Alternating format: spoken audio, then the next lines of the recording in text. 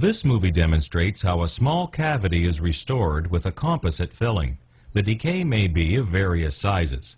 With a composite filling, only a small amount of tooth structure needs to be removed, just enough to remove the decay. Here, no undercuts are required as with an amalgam filling. The prepared area is then filled with a composite material.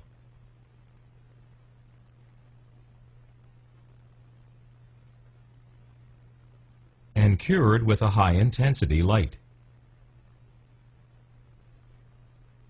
Finally, it is polished to a smooth